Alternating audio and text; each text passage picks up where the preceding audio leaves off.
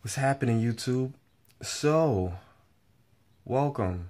This is my first first video of the Versus series that I will be doing, and I really hope that you guys like this and interact with me on this.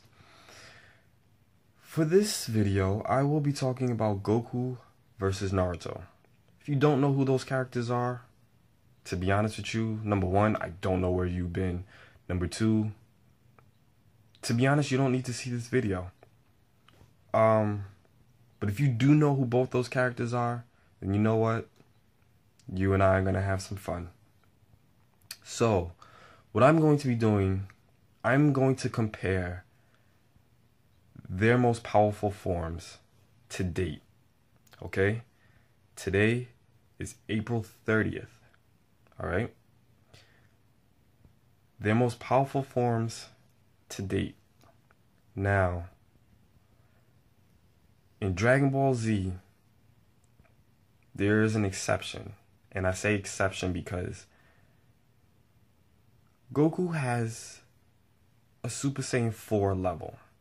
That was part of Dragon Ball GT. I'm not counting that, okay? And before you guys have a fit, I'm to tell you why. Dragon Ball GT was not created by the original creator of the Dragon Ball series. Okay? Akira Toriyama created Dragon Ball and Dragon Ball Z. He did not create Dragon Ball GT. His son did.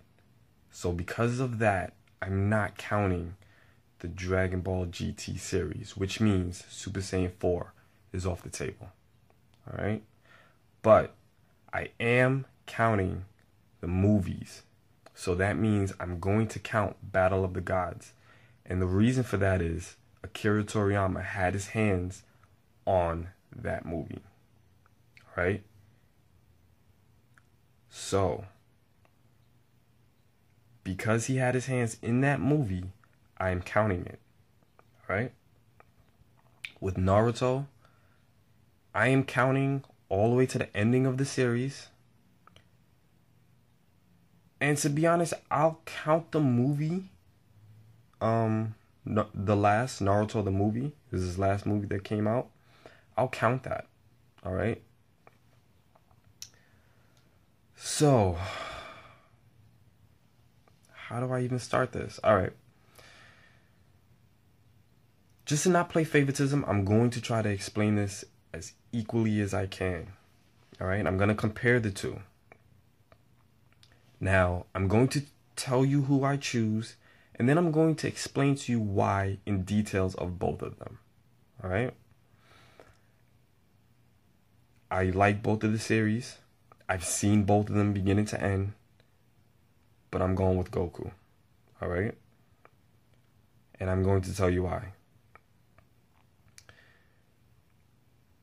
Goku just reached a form called Super Saiyan God. Okay?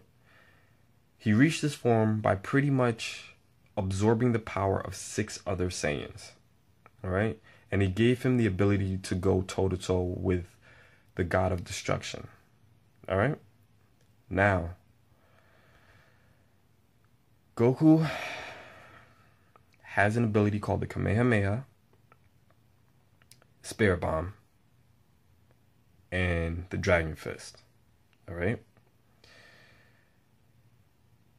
I am only listing those three because those three are his most famous attacks. All right. Um, the Kamehameha wave, he can shoot it out right away, which they call Kai, which is this is all pretty much just power. So he can shoot beams out of his hands at rapid paces if he wants to. His Kamehameha wave, if he wants to use it to his full power, he has to take a little time to power it up. Okay. The Spirit Bomb takes the longest to power up, and he's pretty much absorbing the energy from the planet.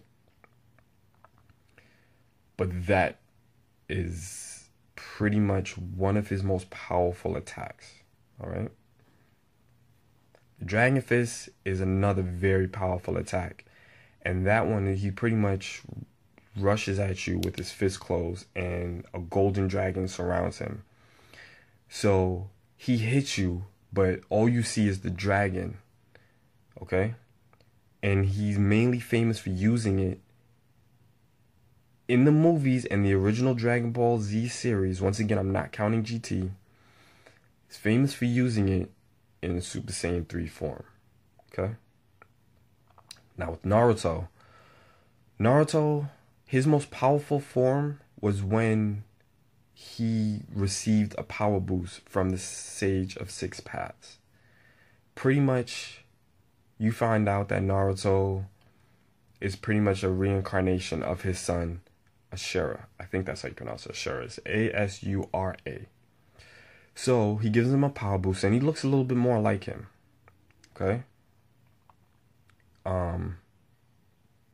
Naruto has his uh, multi-shadow clone jutsu, okay, where he could pretty much create pretty much as many clones as he want. All right, it's been proven that he's made damn near cities worth of clones. All right. Um, he also has his Rasengan and different variation forms of it. He has his Rasen Shuriken, and he's able to put in the chakra of other tail beasts into his Rasen Shuriken. Now, like I said, if you don't watch the series, you have no idea what I'm talking about. And I'm not going to get into detailed analysis of what I just said because then the video would be entirely too long. But all you need to know is that Naruto has a tail beast within him, the nine tails. There are nine tail beasts and he has a little bit of chakra of each of them in him. So he's able to take that chakra and put it into his Rasengans. All right? If you only watch the anime, you don't know what I'm talking about, but you're going to see. If you read the manga, you know exactly what I'm talking about. Manga, manga, however you pronounce it. Now, he can also have he also has a tail beast mode where he pretty much takes the form of the nine tails. All right, so he becomes a giant fox with nine tails, basically. And every attack that he can use, he can use in that mode. And he also has a tail beast um, bomb, which is pretty much it's you can compare it to Goku's Spirit Bomb. It takes a while to power up, and then he can shoot it out, but it's very, very powerful and destructive. And I give it to him. He could prob it's probably powerful enough to blow up an island. Okay? Now, with those two comparisons made, the reason that I choose Goku is because even though Naruto was very powerful at the ending of the series, and he would give Goku one hell of a fight, I believe that Goku would beat him because Goku has the power to destroy planets. Yes, Naruto is quick, but Goku still has the instant transmission under his belt if he feels as though his speed can't compare. Okay? So, and I mean, yes, Naruto fights very well, but it's been noted in the Dragon Ball Z series that when Goku fights, he becomes a fighting genius. Even though when both Goku and Naruto are normal, they both act silly as hell. Okay? So, that's my pick. I pick Goku.